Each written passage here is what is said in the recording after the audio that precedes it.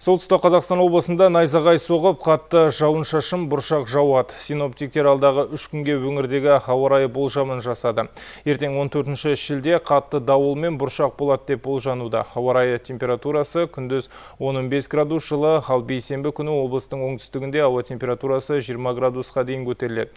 Апта соңында сынап бағанасы 15-25 градус жылына көрсететін болады.